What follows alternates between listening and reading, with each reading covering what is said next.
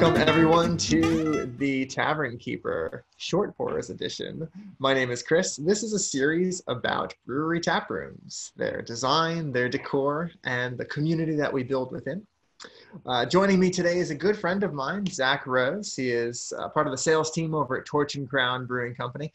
They are based out of Manhattan and uh, have been brewing beer for a while. You can get their beer. We'll talk about how to get their beer in a little bit, but they are just on the precipice of opening a brick and mortar. Uh, it will happen very soon, I am sure. Once once we are allowed to see each other in person, I'm sure that's the, the main hurdle at this point because it seems like Sure. we jumped all the other hurdles. How are you doing? I'm good, man. Staying sane in the middle of all this nonsense. How are you? I'm good. I'm good. We're it's it's actually it's it's nice to be uh, social on a particularly rainy day. We actually like it's nice to see a rainy day. Now you look outside because you're like, man, I'm not missing anything. right. so the Better rainy days are much better than the sunny days. It's just kind of exactly. um, that's awesome. Cool. Thanks so much for uh, for jumping on. Of Um, course, dude. I've been starting to do this series. Uh, uh, the series proper is, you know, uh, um, a set of interviews with uh, uh, brewery owners and uh, people who run tap rooms and, and build tap rooms. The short pour series is all of my industry professional friends uh, who, who have no shortage of um, experience with tap rooms and experience with community. Uh, Mhm. Quite quite often, it's it's um, the folks on on the sales front and the folks behind the bar who I think have the their finger closest to the pulse of community. Um, so uh, my first question for you is, um, or actually, really, really, really fun side bit. Uh, Zach and I, we met because he's, you know, I did the I do the buying over at Earl's Beer and Cheese. Zach was a sales rep for a couple of distributors, and we met that way. But we actually went to college together. We went to Rutgers together, uh, though we didn't know at the time. And we pro- at the same ex- the same exact stretch of Mhm. years, and I believe we Mhm. were probably in the same dorm at least one or two of our first years, which is kind of crazy. Like Yeah, I think we. I think we were actually like quads, right? Quad one, quad two. At one of the quads. Did Did you migrate to the towers? I never did. No, I was quad Okay. one, and then I was All right. quad three. Fair. Yeah. All right. Elevated your status a little bit. That's right. You jump up, you, but leapt over quad two completely. Um, um, but wait, wait, where did you live? Where did you live your first couple of years at Rutgers? Uh, first year I was in quad one. That's it. I was- Yeah. It was like the the super protected house for people that were afraid of college. It was the worst experience ever. I don't know. I don't know why I got put there. Did you you didn't sign up for that? You didn't say on your application, "I'm super scared and and and I need to be No, there was handheld." no daylight. No daylight coming through the bars. There was nothing. It was the worst I- experience of my life. I do remember a last specific lack of daylight. so Right? glad We're we were residents. I, I mean, I don't remember what house I was in or what numbers they were, but Right. anyway, we'll, we'll hash this out. But it goes to show you that you know, community community expands and community is transcendent of all the circle of life. We've, we've yeah we found each other. Um, that's awesome. Uh, so, so jumping into the brewery tap room side of things, um, did you have a before you were in the industry? Did you have a specific uh, experience at a brewery or with a brewery that really sold you on the industry and said, yes, this is this is a really cool cool um, thing and and communal space and communal industry? Yeah, for sure. So I would have to say for me that was uh Ommegang for BCTC. uh, Shit, I remember the date and everything. Uh, back in August of 2014, um, Yeah. where a bunch of us we heard about this thing a few months prior, and the thing that the basic thing that got us was you can pay not a lot of money to drink a shit ton of beer, and we were just sold. The Uh, so exactly, like who knew these things existed? Um, so we we packed up our bags, we got our tickets, we got everything, and we got there, and it was just a sprawling campground. Like it was it was beyond anything I'd ever seen before. There were there were hop vines where you could actually go up and smell the the hops that they were growing at the time. Over to the left was the actual brewing facility. You have these 200 or so different ven- 200 or so different vendors, uh, just pouring whatever you wanted at the time. There were there was food, there was a stage, there was actually a, a sad clown, uh, Puddles, Puddles, a sad clown. Um, It was a mus- it was a musician, or he's just a Yeah. clown that happened to be there. I, I guess a little from column A, a little from column B. Yeah. Like he he was depressed as anything, but belting out tunes.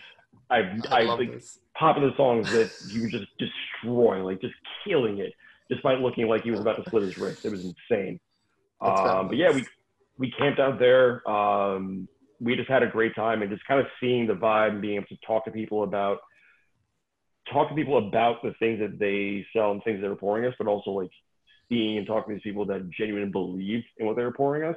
Yeah. Um, it kind of gave me this like this inspiration for like I like beer, but I've never thought of it as more than just a thing I consume. Like I kind of started looking at it as like I like it, but maybe this is something I can actually do, uh, you know, do for a living, do as a career. Yeah, there's a uh, there's a really cool, and I've experienced this too when I started to visit breweries. There's a collective ownership of the uh, of of the industry, um, you know, belonging to all the people who are part of it.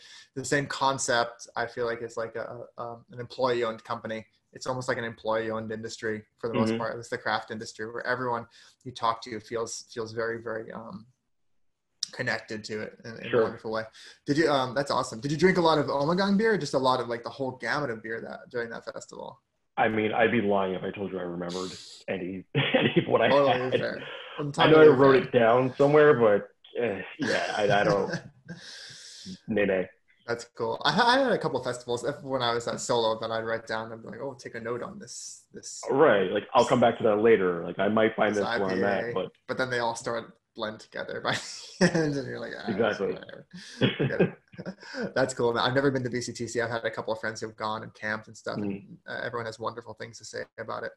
Um, we'll get up there. Hopefully, they're hopefully they're they're back doing that festival again sometime. Yeah, I hope so, man. Or next, but we'll see how it all shakes out. Um, that's awesome. Um, and then, uh, uh, how long after that experience did you jump into the industry? Um, it was about three years. This is year three, actually. Yeah coming up on next month. Um, nice. What were you doing yeah, before? Just, I was in technology sales, just slinging software and yeah. not enjoying it whatsoever. um, just calling disgruntled people and having them curse me off and sure. watch, rinse, repeat. Um, yeah. So yeah, I, I, I was sending my resumes out, but it, I just didn't have the experience. That was the that was the big hurdle there. Um, so actually, Shane down at Carmine Street Beers, he kind of he hooked me up and gave me a bartending gig, yeah, part time right. on weekends. Cool spot. And from there, he, you know, I learned the lingo, I learned styles, I learned more than just con- like the consumption aspect and like how to relate to people about beer. And yeah. he he pointed me, he put me on the path, he helped me out, and he's a huge reason I'm uh, I'm where I'm at today. So I Shane, if you're watching, thank you. That's excellent. We will let Shane We'll link you up. We'll get you we'll get you viewing this. Um, sure. I, I have my beer Sherpa too. His name is Flint Whistler. Uh, he's a great great dude who who works at Randolph. He's a he's a brewer at Randolph now, but he mm. uh, we work together at Rockaway, and I've learned pretty much everything uh, that I know. Uh, I feel like Flint Whistler is very much a Sherpa name. He's a he's a Sherpa indeed. You, you I can't believe you haven't met him. We'll, we'll all link up for drinks either over the Zoom or in person eventually. Absolutely, or both. Um, that's awesome.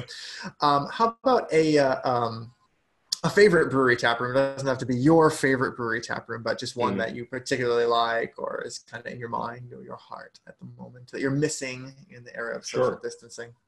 Des Ciels in Montreal. Ciels, um, yes, we've been there. I love that. Right, I love that. My, my wife went to school in Montreal, and so we did the trip this past summer. No shit. Yeah. Okay. So yeah. a little bit of business and pleasure. I suppose, yeah. She, she's okay. pretty removed. We're both pretty. We're, we're, both pretty removed from, from our college years. So she, has, uh, we saw a couple friends up there, but it was mostly just okay. like seeing the sights. That's where she, you know, dormed and yada yada. Mm-hmm. Um, but I love, man, I loved Lucille, um, and brought home a bunch of beer from them. Um, and I, I was, it was wonderful because it was this, this really low key spot. It was almost like just mm-hmm. sitting in this French cafe, almost, yeah. you know, like a French coffee shop or something like that. Yeah, you wouldn't even know that there was a brewery in there unless you just actually happen to look around and say, "Oh wow, everyone it. is everyone has a take two in front of them. What is going on here?" Like, yeah, don't really even think about it. Yeah, there. I remember the list being fabulous and and the pre- pretension level being super low, and um and also I mean like I, we had a lot of working parts when we went. To it was me and my wife, who was pregnant at the time, and my you know two year old daughter. And um, mm. And I, was, I promised them I wasn't we weren't going to spend a lot of time there, even though they were protesting. But I still I was like, no, so just we're going to be quick. Right. We have to do this. We have to do this. and, and it was still like it didn't feel like it, it was crowded, but not like it didn't remotely feel overwhelming. It was really Mhm. really nice. Um, I remember I remember asking the bartender for a local recommendation. I was like, "Can I, you know, something that you guys make here that's Yeah. native to Montreal, native to Canada?" And he's he's like, "Well, I've got this really great American pale ale. I want you to try." And I'm like, "Oh no, no, I know it's. I'm sure it's great. I'm sure it's great." And that's that's what I ended up having. Um, Sure. but it, you know, it made me think a lot about us as Americans. We're, we're very much like, oh, you know, check out this saison we brewed. We're, we're really proud of it. We did a really good job. And probably someone from Mm-hmm. Belgium is like, great. Anyway, just give me the haziest IPA you have. Uh, that's what I came here for. Right. Um, that's that's awesome. Uh, uh, was was Decille was Decille part of your plan, or, do, or is that something that um, you kind of stumbled Honestly, upon? We n- not even. We were. Uh, it was actually. I think it was the same year, 2014. Actually, a lot. Of, um, well traveled yeah. that year, yeah. apparently, which is not my norm, but uh, no, we were we were just there for for shits and giggles, frankly, and we were kind of just wandering about. Uh, we service. Like, this is back when like you couldn't really travel and have service and not pay a ton. Mhm. So we were just kind of wandering about. We're in the middle of the rain. We see this castle across the street that apparently was actually a, a, a fire station or a firehouse. I remember this. That's so good. Right, like we're like something. Someone regal must live in there, and then the fire engine just shoots out. We're like, oh, that's the purpose it serves. And then we looked across the street just to get out, and it happened to be Dieu du Ciel, and it's it was it was amazing. Like it, Yeah. we, I think it was maybe four of us, four of us, yeah. And we we walked in, got a small intimate table. It wasn't even too loud considering how small and condensed and like packed in the place was, but you never felt like you were like you were on top of anybody else. And Yeah. it's like everything it just checked every single box so like i just i just They had a little, uh, there's a little brew house. It looks like right there. I don't know if, how much Right. brewing or if any brewing they do there, but it's nice to, to Mhm. feel like you're really part of it. Like, ah, it's a fresh product. It's right the hell there, which is cool. exactly Um, yeah, the Montreal scene was great. That's cool, man. Um, how about a uh, like a niche brewery, some uh, brewery that within their tap room does something very specific and, and Mm. does a good job at at, at really um, honing in on something. so this one actually isn't even so much about what they do it's just the like the physical establishment itself that really just stood out to me um it's lazarus down in austin texas Okay. um So I hear I So, hear like- Austin has a really fabulous scene. Uh, They Austin do. is like almost almost like Asheville territory as far as people are recommending it when they come to the tap room. and you can just walk from place to place to place like if you just map it out right you can just bounce around and hit a lot of really dope breweries Cool. Um, this one just happened to be in. It, it happened to actually be from. We didn't even know it was on the map. I guess we didn't really do our research uh, as well as Yeah. we should, but we were getting from A to B. It was 98 degrees in the Austin summer heat, so we were all dying. Good times. And then this oasis pops up. Looks almost like a mechanic's garage. Um, you walk in, just some dark metal, some dark wood, kind of subdued lighting, but like you, there's a boiler to like there's a boiler tank to your right, you know, the spent grain. Like it just it just had this aura about it, and like this is this feel where it's like, holy shit, this is exactly what we needed, exactly when we needed it. Yeah. Um, and the brews we had were really great. I think we had a, like a I think I had a coffee, I had a coffee cream ale with honey. Mm-hmm. Couldn't tell you the name of it, but like it's honestly still on my mind to this day. Yeah. Um, so like that is just a place that has always stuck out to me. Just looking at the inside, I'm sure if, if you know if you look up the uh, the place on Google, you'll see what it's like, and it's just that's just always a. Um, just I just love the aesthetics, and then you know they also serve really great fucking beer, so that doesn't hurt. That's fabulous. But the, tap room does so much work towards cultivating that experience, right? I can, you know, I've been to a few where the moment you walk in and your first interaction with the bartender, um, I had this. It comes to mind. Uh, there's a brewery called Gibbs Hundred down in um, down in uh, Greensboro, North Carolina, and uh, the bar, Yeah. just the bartender I had, and I had him two times in a row. That's where my wife is from. Um, just immediately, I was he, he was so welcoming. Um, his name was Ross Jeffries, great dude. Um, There you I'll, go. try, I'll try to get him on on this horn. Um, but immediately I was like, I, I don't live here. I'm a part of this. I'm a part of Mhm. this. I could be from Antarctica, Antarctica, and I I would be made to feel part of this, which is awesome. Right. So it sounds like and Lazarus that's just had. Yeah, had that aspect. That's great. Um, and then uh, a tap room you haven't visited yet, but you would like to get to once they let us out of the house. Uh, once, if, when. Hmm. if when. Uh, I would have to say, uh, so I've been getting a lot of beer in the mail lately. Mhm. USPS. I hope you're not watching this, but know, I um, think I think everyone has bigger fish to fry right now, as long as you're not being real deviant. Sure. Yeah, that's fair. It's only beer, I swear. Um, it's uh, Hubbard's Cave out in Illinois. Um, Okay. I've just been getting a bunch of just really dope barrel aged imperial pastry stouts, uh, sours, IPAs, just everything I've gotten from them has kind of been like a holy shit moment. Yeah, Um, cool. so that is just a place where I would love to go in because obviously you can you can kind of get these things through the mail, you can get them through your friends, but then there's always those things that are at the brewery Yeah, that you're never going to have elsewhere. So like I if if these things that I'm getting sent to me are, are blowing my mind, I would love to know what they're actually serving in house and serving their their loyal customers that yeah.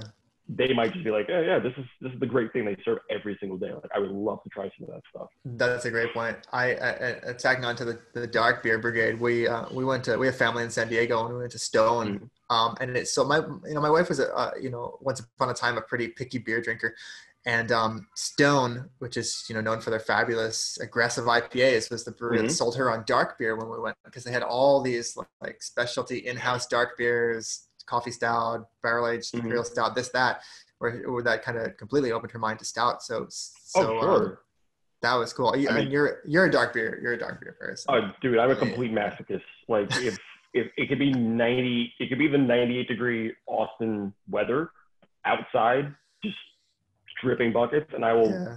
guaranteed crack open a bourbon barrel aged imperial stout at 14%. I don't care. That I'm, is- I'm with you. heart I'll, do ice cream in the winter too. I think there's nothing wrong with mixing your Right? going doubling down on the temperatures, right? Anyone who, anyone who says otherwise, it's just it's blasphemous.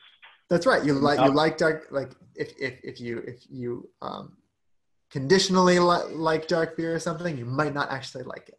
No, no, you're no you're no friend of mine. no friend of mine, and you ain't no friend of mine. Uh, what are you drinking, by the way? Uh, so shameless self promotion right now. No shame. Uh, hmm. Uh, without drinking my own brand. Uh, Torch and Crown, Torch Park, uh, 8.5% West Coast IPA collaboration with North Park, the guys out in California. You. guys. Uh, so yeah, we did that with them, and I feel like there's a severe shortage of West Coast IPAs, or just even just like bitter, Yeah. dry IPAs, and that's like Yeah, that's what I I like. think- so I think they'll make a. I think they'll make a comeback. I think everybody is making making a point to uh, still Mhm. revere the style. It's not an antiquated style over here. It's just, For just sure. a, it's just taking a taking a break out here, and I think it's going to come back. Um, I'm actually drinking their label is gone because I'm I'm a masochist as far as labels go. I, my own ways. uh, but it was, it still is uh, a torpedo uh, from Okay. Sierra Nevada. So in the in the same world, it's nice to be sharing a style right oh, now. for sure. I mean, that's a fantastic beer right there. I agree. I agree. Um, cool. Uh, so that's awesome. Thanks for sharing a lot of these thoughts. Hey, of course. Um, tell me before we finish up where we can get where and how we can get Torch and Crown beer. Sure.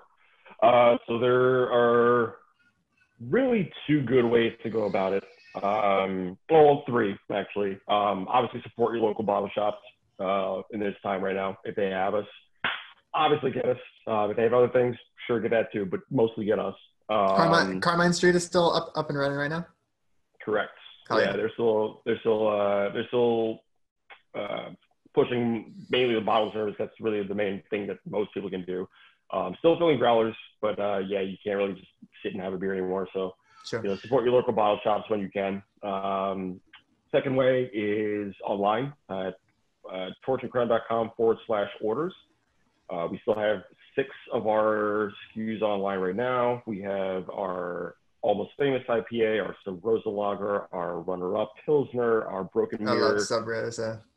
It's great shit, right? Sub Rosa, Um, almost famous. Those are those are such great solid. those aren't going. uh, Those aren't going anywhere. So yeah, you'll get this. Um, we have our Broken Mirror uh, double IPA. That's a collaboration with Aslin. We have the Torch Park uh, West Coast style IPA that I mentioned, uh, collaboration with North Park, and then we have our Erebus. Uh, we have our Erebus Stout. Um, not super heavy, but just just heavy enough and kind of light enough. It hits a very perfect middle ground where it's nice and chocolatey and roasty, but like not too much where you are unable to operate heavy machinery afterwards. Um, yeah, you can. You, um, your your head brewer Joe is um, mm-hmm. formerly of Kane, right? And he, he, is famous for his his imperial stouts, right? I've had the heavy mm-hmm. crown. That's that's a that's a man. It's a wonderfully yeah, balanced imperial. It's great. And it's it's kind of dangerous because you can drink it and you won't realize that it's put you on your ass too later. So like you got you got to be careful. It's delicious, but you got to be careful.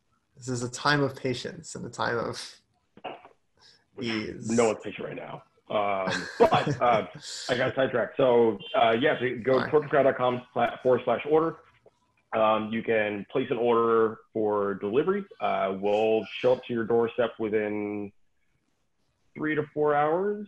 Typically, the, the window is uh, order by 2.30, get it between 3 and 7, uh, seven days a week. We're delivering to Manhattan, Queens, and Brooklyn. If you're below 23rd Street, you can actually get it within an hour. There's an option for that on the website as well. And then there's also an option to uh, pick it up at the brewery. So that's number three, where you can come by. We're at 12 Vandam Street down in Soho. Uh, come by, shoot the shit with us. There's always somebody kind of standing out there just harassing or haranguing whoever happens to be walking by. Uh, you can, you know, come chat with us, kind of get a peek inside to see what the what the, what the restaurant's going to look like, restaurant slash uh, tap house. Yeah. And uh, yeah, you can place an order right there, and we'll we'll hand it to you as we're talking to you. Uh, there's an awesome. option on the website as well. So yeah, you got a couple ways to go about it. We'll we're just trying to get the good beer in the hands of good people. So cool. That's amazing, my friend. Well, thank you so much. This is a really fun chat. Hey, man, it's really good to, to connect on this on this rainy day. yeah, man, it was great to actually have some uh, some contact. Yeah, uh, some, right, some actual face to face contact. We'll do it again sometime. Um, thank you so much, guys. Check out Torch and Crown. Um, grab their beer to go and keep an eye out for when they're open because that's going to be a really hot spot downtown. Only brewery in Manhattan, right? Like real, yeah. real proper. Only, only one. um, I, I, always like to say at the end of these, uh, you know, um, enjoy your local product, grab your local product, enjoy in moderation. It's a tough time being in isolated. So uh, if, if you want to talk about moderation, reach out to me, reach out to your local brewery. We're all happy to chat about that. Um, and um, cool. All right. We'll catch you all very soon. Thanks for watching. You, buddy. Cheers.